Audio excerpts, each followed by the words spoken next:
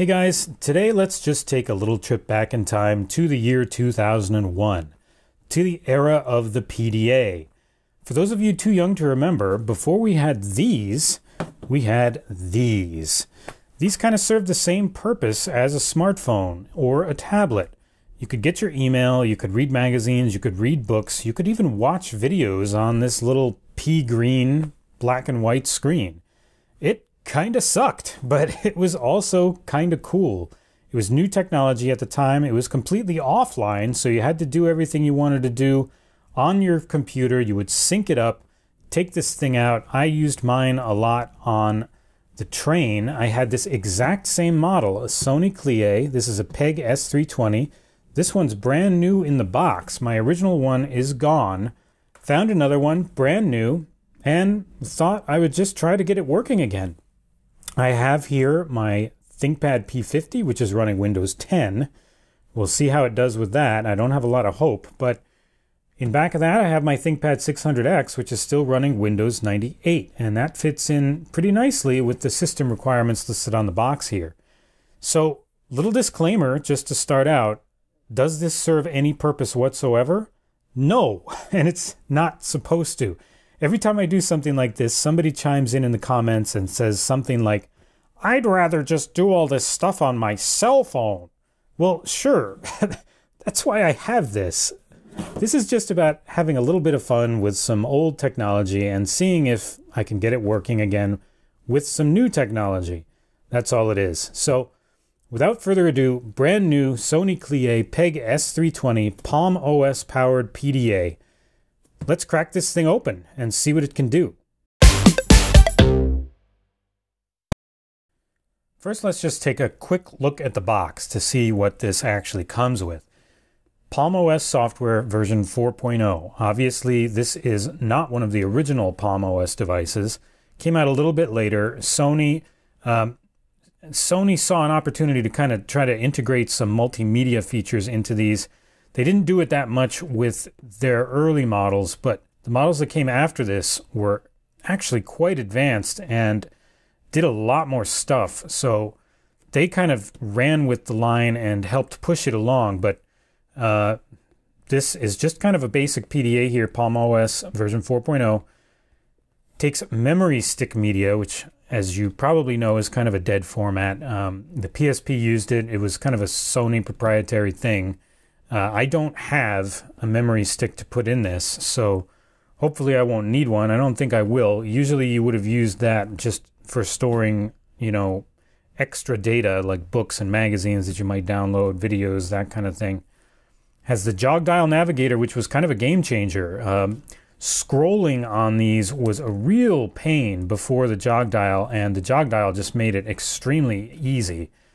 Comes with a hot sync cable, does not come with a dock as far as I remember, and there's nothing listed about a dock on the box, which was kind of a disappointment at the time, but does have the cable. Picture Gear pocket software for viewing your pictures in lovely pea green and somewhat darker and lighter pea green. G Movie video player. Again, Sony focusing on that uh, multimedia and trial versions of exciting handheld applications from leading software vendors that are unspecified, but you get menu assistant, restaurant notes, and tip calculator in Amy Riley's Pocket Gourmet, so that's something. Memory Stick Gate, which is basically a file manager. Before this, most Palm PDAs did not have any kind of a file manager, so this was kind of a new thing at the time.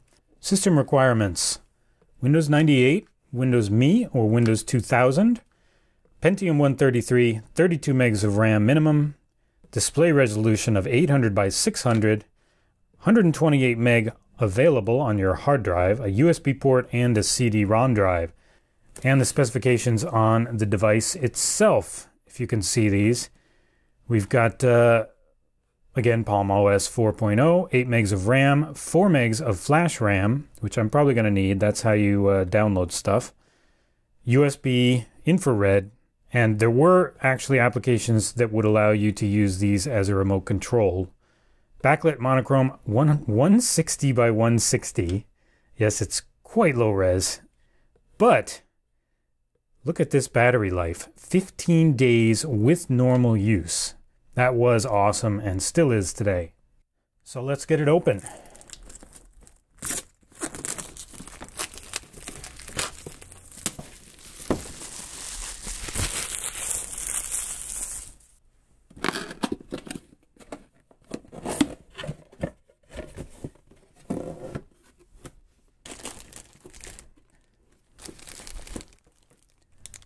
installation CD and manuals. One of the interesting things to me was always these graffiti uh, cheat sheets that you could actually stick to the back of your device. That's what these are actually stickers. And uh, I may have actually done that for a little while. I'm not sure, but uh, it did help because you know most of the letters are kind of self-explanatory, but a few are a little strange, and especially punctuation marks uh, they you do kind of need to memorize them. It's not difficult, and it comes pretty naturally after just a short time. But uh, just the fact that you needed, they actually gave you something to just stick on your device. It's kind of funny. Please read the instruction manual. I assume this is the Clie itself.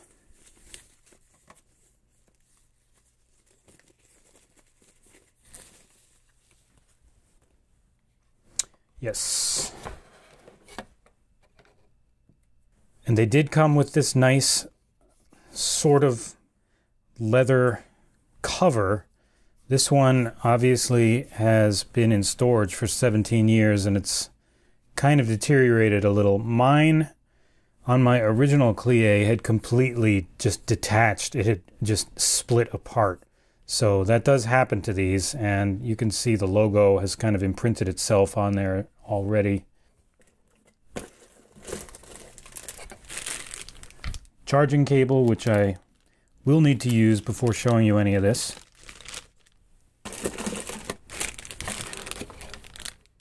And the hot sync cable. And this is where the magic happens. So hopefully I can get this to work on one of my machines. While it's charging, I just took the cover off and I just want to show you kind of what happens to these. You see here, it's just, this one is already splitting right out of the box. These just kind of deteriorate over time. I'm not sure what material this actually is. It's not leather. It's not, I mean, it's not vinyl because I would think that would last, but it's kind of a shame because that was one of Sony's big selling points is that they came with this cover right out of the box. You didn't really need to buy a separate case, and it kept the device kind of sleek and uh, you know didn't didn't make it a lot bigger like some cases did. But these days, I mean, even a brand new one, if you find one, it's gonna it's probably gonna be split like this. So, oh well. Now also while I'm charging, I figure I may as well try to install the software. So trying it first on my Windows 10 ThinkPad P50. Again, I don't have a lot of hope, but we'll see what happens.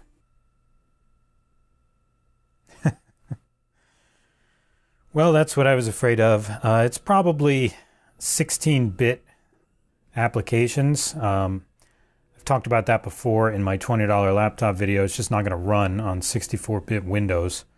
Okay, now I've been charging it for a while and it may not actually be holding a charge at this point. It is a 17 year old battery. So I'm just going to go ahead and do the setup with the charging cable connected and uh, I'll see if I can get it to charge after that. But uh, here we are in the setup. We're uh, going to set up the stylus here. This is how you calibrate one of these things. Tap in the corners and in the center.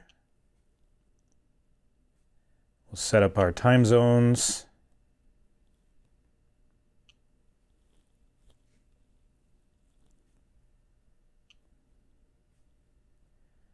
And January 2nd, 2001.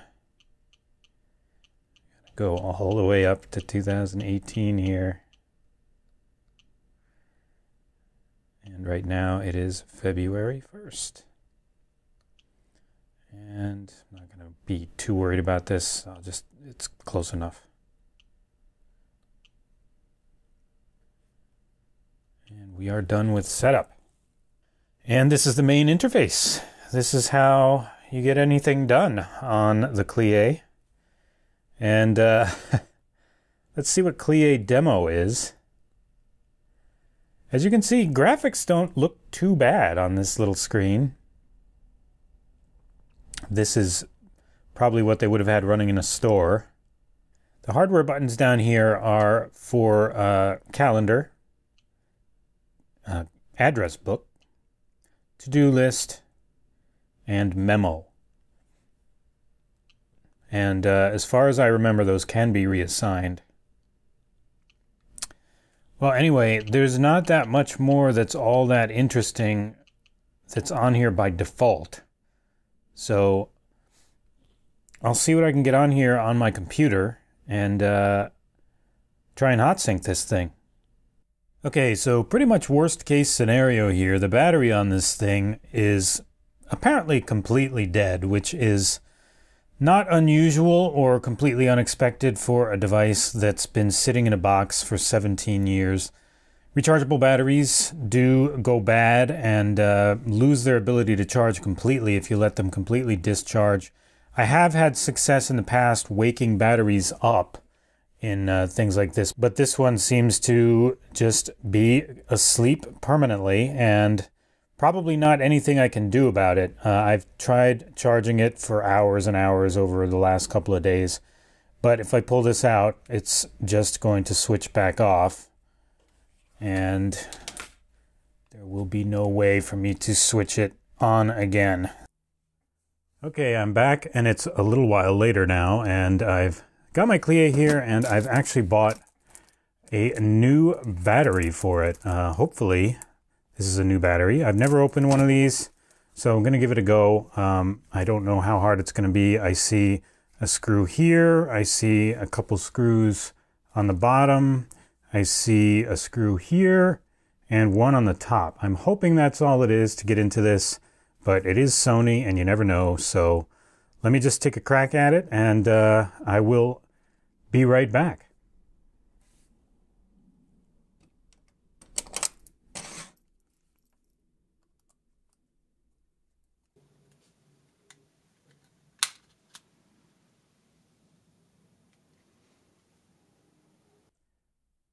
And there it is opened up. Um, see if we can access the battery now. So there is the offending battery right there. That's what I've got to get about replacing. So I'm just going to get it out and uh, get the new one in there and hopefully, hopefully that one works. Okay, old battery is out. New battery is here. New battery is actually quite a bit thinner uh, same specs, same model number, so hopefully it's just better battery technology. But anyway, let's plop this thing in, see if we can finally get it to work.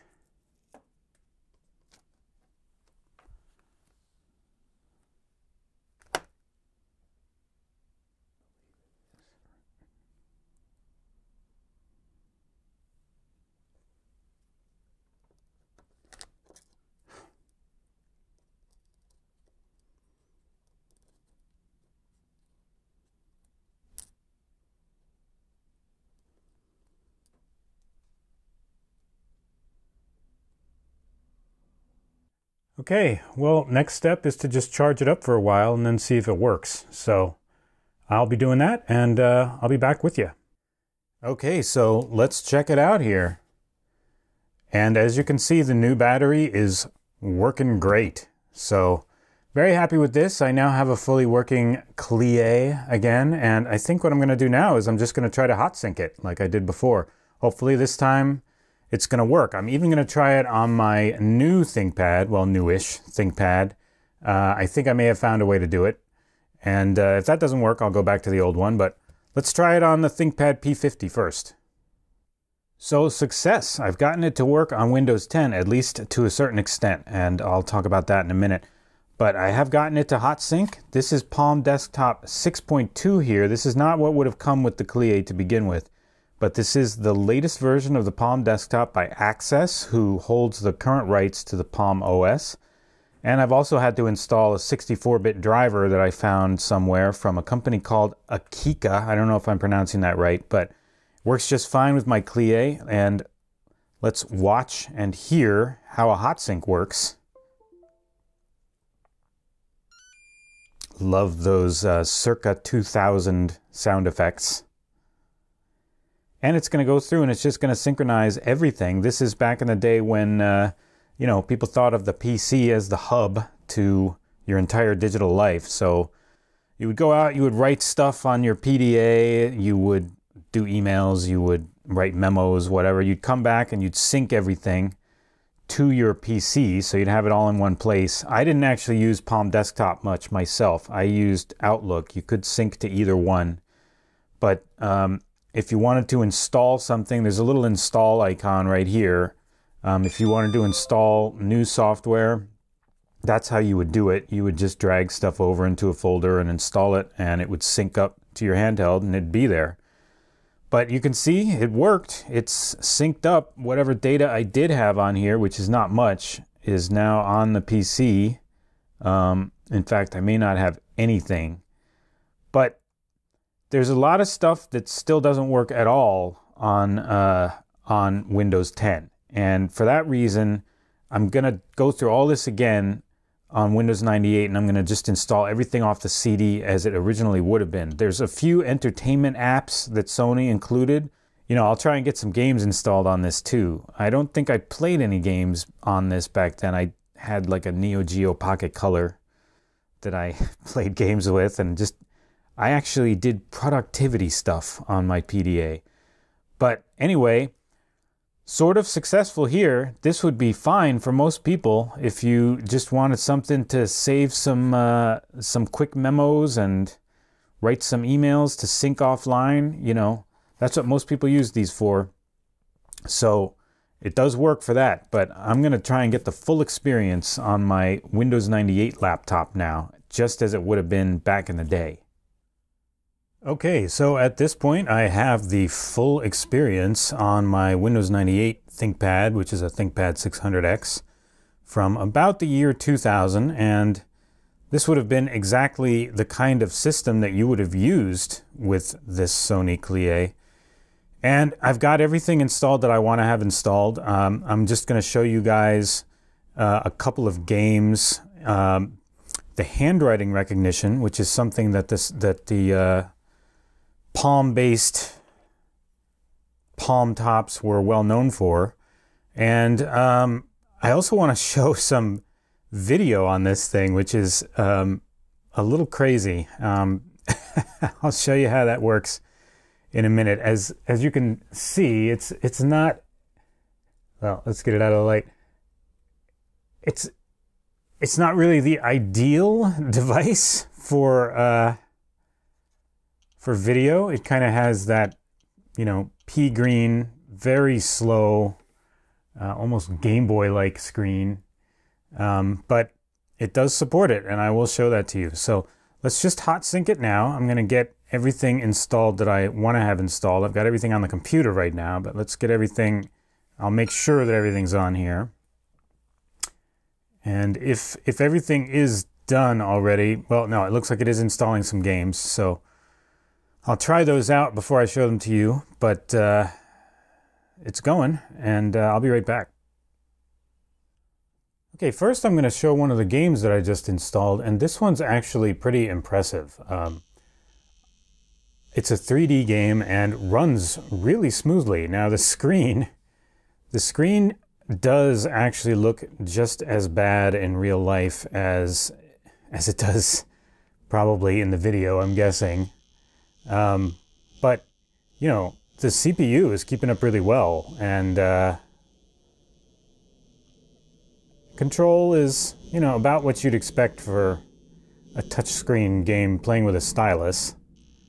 But uh, I'm kind of amazed at how well this runs, and I don't remember this from when I owned this before. I probably never installed this when I had this. like I said, I had an actual game machine of some kind at that time that I played on the go. Um, I used this really for what it was intended to be used for. Um, I used Avant Go mostly, which I can't show you because it's just gone. Um, but I guess this thing could actually play some pretty impressive games. Now, one of the things that Palm devices were uh, quite well known for was their handwriting recognition. They were not the first, but they were at the time the best and probably still the best because there's not a lot of handwriting recognition in either, you know, Android or iOS because you're not using a stylus, you're writing with your finger or whatever. Um, but I used the hand the uh, handwriting recognition, which was called Graffiti, on this quite a bit, and uh, well, you really had to if you wanted to get anything done. Um, let me just see if I can write anything here.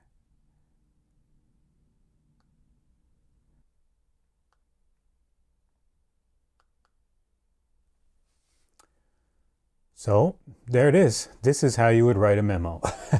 it actually worked pretty well, surprisingly enough. Most of the graffiti characters are pretty close to how you would naturally write them. Uh, an A looks like at least part of an A. A B looks like a B. And you kind of just have to trust to a certain extent the uh, capital, the auto capitalization, but it works pretty well. And, uh, you know, obviously there are ways to shift case. But yeah, that's it. I, th- I still think the handwriting recognition on these things was one of their big strengths. And lastly, I'll just uh, I'll sync up one or two of these uh, sample videos that came with it. These are the sample videos that came with the Clie. They're all of these two apparently twin Japanese girls. So uh, we'll sync one or two of these up and just see how it looks on the Clie. You see how it looks here, nice and smooth, if a little low res by modern standards, but remember, this was 2000 uh, or thereabouts, and this was digital video back then. So really not bad for that time. So let's work on these. You have to actually do a little mini conversion to get these over to the Clie. So uh,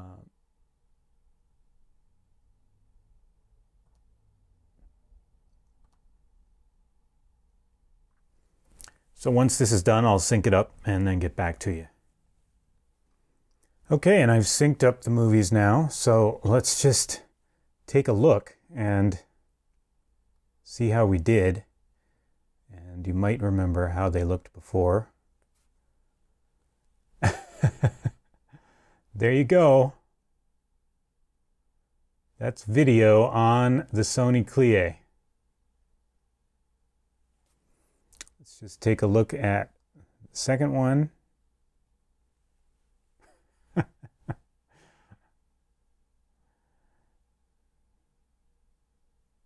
Yep, that's about it. That's the quality of video we used to have on our handhelds. Anyway, some of you might be wondering, uh, you know, after seeing how awful this looks, whether or not there was any backlighting for this, and the answer is yes. Um, Actually, this was one of the first models. It might have been one of the reasons why I got this back in the day. I don't think the actual Palm models had backlighting yet, but there is some very rudimentary backlighting. In fact, let me uh, just turn off the lights here and hopefully you'll get a better idea of this.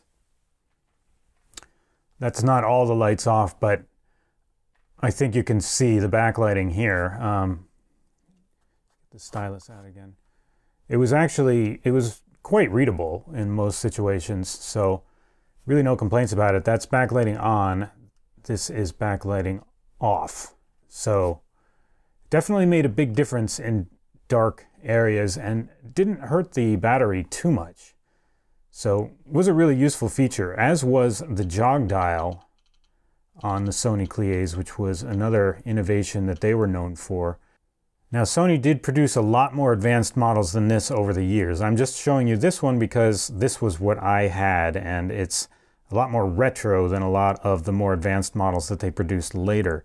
They did have some models later that were almost like modern day Android or, you know, iOS phones and could do a lot more. They were very entertainment oriented. They did a lot of video, they did music, they were really geared towards they're almost kind of like an uh, like an iPod touch or something like that. Um, but Anyway, just wanted to show you this one, give you a little retro feel of how we used to do handheld computing in the olden days of around 2000. Um, back when my ThinkPad X here would have been the current uh, a current ThinkPad model, and the early days of Palm Top handheld computing.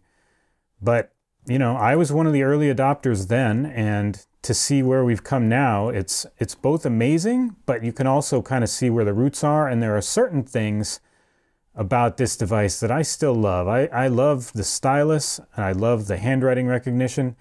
By the way, I did use a Samsung Galaxy Note uh, phone for a while.